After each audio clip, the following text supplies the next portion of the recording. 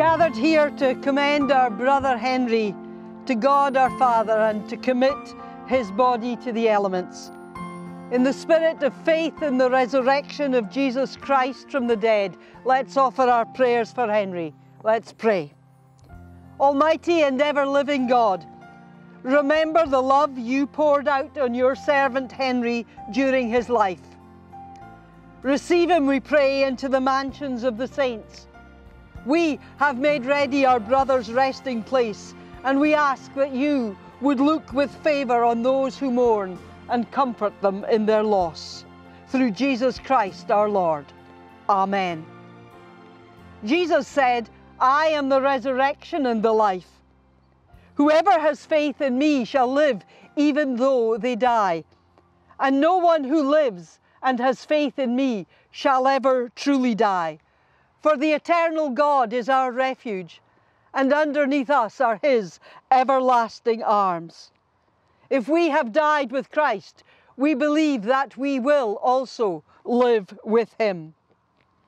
We entrust our brother Henry to God's merciful keeping, and we now commit his body to the ground, earth to earth, ashes to ashes, dust to dust, in the sure and certain hope of the resurrection to eternal life through our Lord Jesus, who died and was buried, but rose again and is alive and reigns forevermore.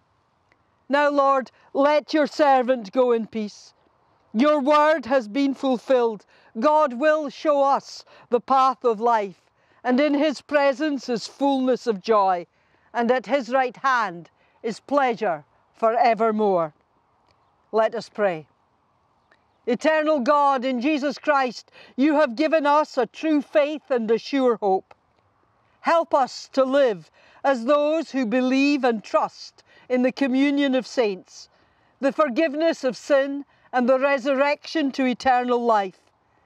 Strengthen this faith and hope in us all the days of our lives, and bring us at our last awakening to the house and gate of heaven, to enter into that house where we shall be one with you and all your saints forever. Gracious God, by your power and in your love, you are giving Henry new life in Christ. We have entrusted him now to your keeping in the faith of Jesus Christ, your Son, his Lord, who died and rose again to bring us salvation and to the glory of your eternal kingdom.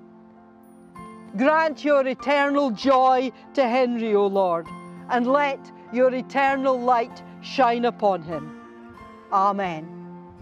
Now go forth in the peace of God and with the blessing of God Almighty, Father, Son, and Holy Spirit upon you this day and every day. Amen.